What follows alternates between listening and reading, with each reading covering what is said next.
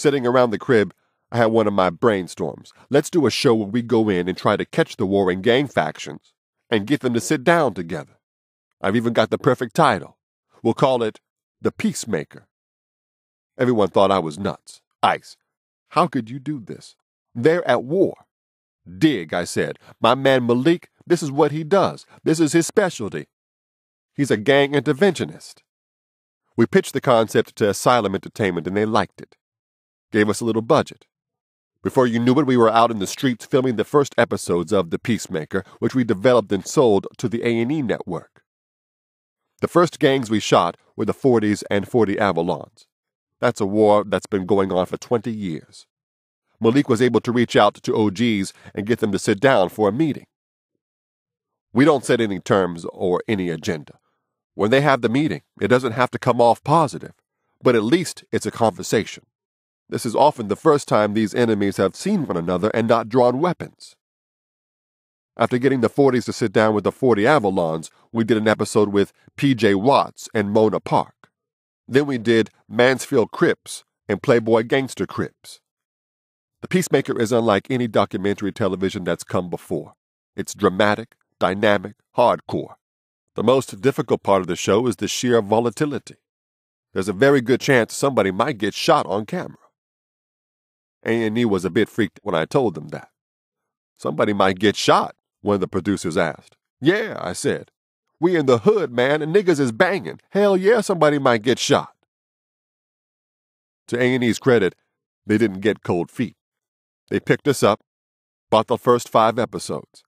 Said if the first five do well, they'll greenlight us to make another 20. I'm executive producer, and it's a labor of love for me. There's no real money being made on the show, but I'm passionate about it. For me, this puts the real in reality TV. This ain't no Survivor, Amazing Race, or Jersey Shore. This is real to the point where the guys we are interviewing are armed. At any minute, they could pull out and kill the cameraman. During our show, people are getting shot on each side of the borderline. It's war correspondence. It's just war correspondence in the heart of the city of angels. What the show illustrates is that these gangbangers are not monsters. It humanizes the gangster rather than showing kids getting all rah rah rah, showing their guns, throwing up their set, and mean mugging for the camera. You see their children. You see their parents. You get a sense of the depth of their anger and why they're so angry. In the Mansfield Crips episode, we came in right after this guy's wife and baby had been shot. Imagine that. Wife and the baby are fresh homicide victims. We're coming in and telling the dude, do not retaliate. And every show starts like that, with a murder. It's intense. Fuck Jersey Shore. This is the realest shit that's ever been on television. Part 8 Too Famous to Steal. My life is violent, but violent is life. Peace is a dream. Reality is a knife. Colors 16. Once you've tested the fire, you become very comfortable with the calm. These days, I'm in a quiet zone. I prefer staying in the crib, eating at my own table, chilling with my wife. The only blood and mayhem comes when I'm playing Xbox, Call of Duty, Red Dead Redemption. I can play that shit all day long. I love gaming so much. Last year, I was even asked to voice the character Griffin in this dope ass third person shooter game called Gears of War 3. Some actors can't take a day out of the limelight. I can hole up in the crib with Coco for two weeks. Like we say, low profile is better than no profile, and slow motion is better than no motion. At the end of the day, we're all trying to find some peace. It's easier to find it if you've seen the world, explored every avenue that's open to you. Okay, I've seen it. I found it.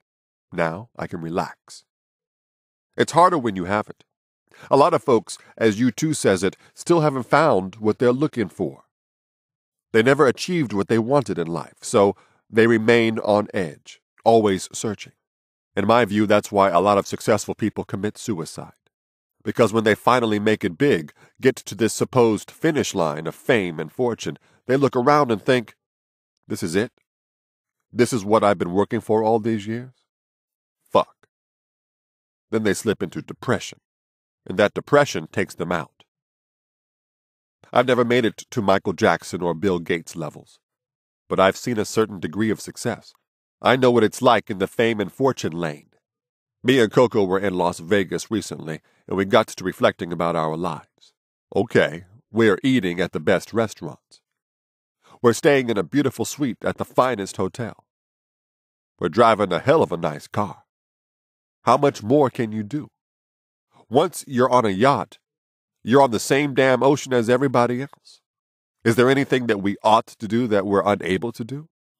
Outside of wasting money on jewelry you really don't need or designer clothes you're never going to wear but once? Is there something more? Is there another level? And we came to the conclusion that there really is no other level. The only other level is to do it like we're doing it, but take as many people as possible with you for that ride. You can't count the number of dudes, Mike Tyson's just one, who damn near went broke trying to take an entourage of 50 motherfuckers along for the ride. In the music business, and especially in the hip hop game, everybody's competing on a materialistic level. Everybody's trying to do it. But that's pretty straightforward. Once you get into the world of the super wealthy, it's not about how much money you make or how many mansions you have. It's about how much money you're giving away, how many tens of millions you're allocating to charities, museums, hospitals. Sure, you can decide you want to play that debutante game. You want to play the De Beers and Van Cleef and Arpels game and your wife has to have estate jewels and wear next season's clothes off the runways of Milan and Paris every day. That's like an infinite spiral staircase to me. You'll keep ascending, but never reach the fucking top. And there's a point where you're living large and you say, damn, am I having a good time or am I not? My view is, if you're caked out and still asking yourself if you're having a good time, homie, you ain't. And the fame side? Of course, you get to a level of notoriety, like Michael Jackson at the end, where it's too much. It's a noxious bubble. He was one of the most famous and gifted entertainers in the history of the world. But who the fuck would want to be trapped living in that sad world MJ was in at the end of his life?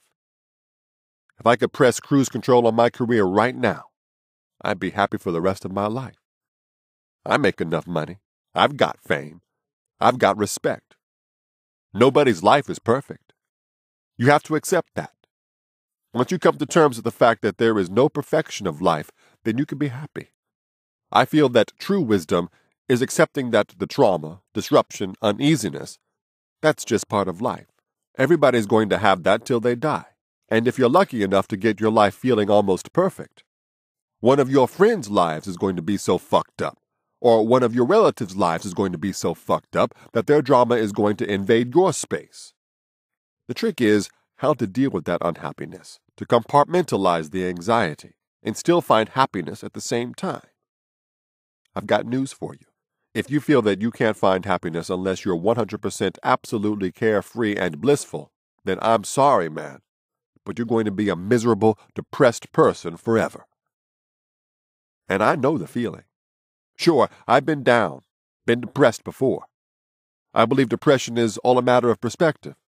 As Americans, I think that's the main thing we lack a global outlook. I tell people all the time, yo, if you think you're really depressed, I need to take you to some places in Africa or the Middle East.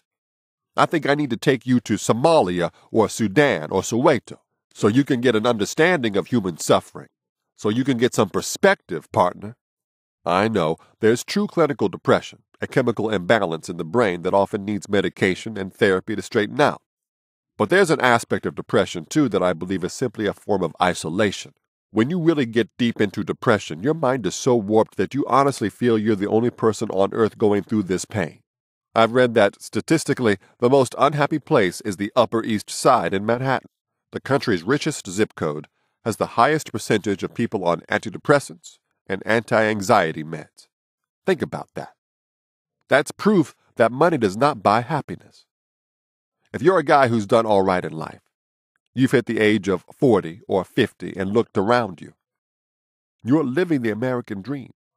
You've got a good wife and kids, a good home, a good job.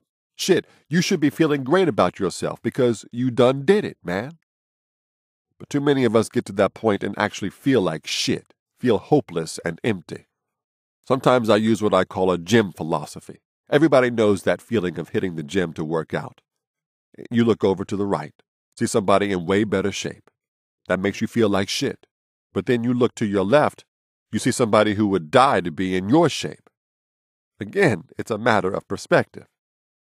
You notice that the most balanced and secure folks stop comparing themselves to other people, try to contain that envy, and find happiness in smaller things. Like the old timers used to say, best to count your blessings.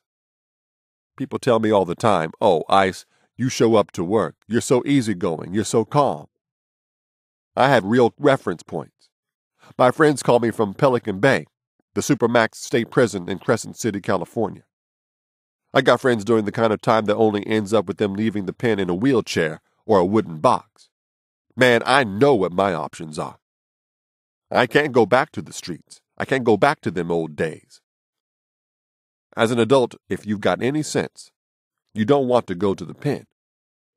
I've spent a few nights in jail. Everybody in there acting hard. Everybody lying about what they did. I just felt like, yo, we in here because we stupid. Everybody trying to act like they ain't stupid, but stupidity is the only reason we got caught. Don't get me wrong, I got friends that can do time standing on their heads. Dudes will call me straight after sentencing. They gave me five, Ice. I'll be right back. What? Five years? I can't do five minutes, homie. About seven or eight years ago, I was out in LA sitting around with a bunch of my friends. This is what I call my crime group, a bunch of the old guys I used to get down with. This was the start of the dialogue. Yo, there would be no sense going on a lick unless it's a retirement lick. It's different from when you're a kid and your train of thought is, man, all I need is $10,000 and I can buy this car. The problem for our crew it was five of us sitting around. In order to go on a retirement lick, the score would have to be in the ballpark of 10 million, because there's no way you can retire with 1 million these days. Every one of us would want at least 2 million apiece, and in order to do a 10 million lick, people are going to die. And if something like that happens, you're on the run for the rest of your life. That's just no longer an option. We've all got kids. We've all got families. We can't live on the run. Back in the day, going on the lam was okay by me. It was almost fun. If shit got hot in LA, cool. I was a one man operation. I could hide. I could disappear. Lay low in Oregon. Or jet back to Hawaii. I could get out of town for three months if I needed to. I can't do that shit now. Actually, sometimes I still feel I'm living on the run. I'm still ducking and dodging, bouncing all over the country. I tell people that the only difference is, these days, I'm staying in the best hotel.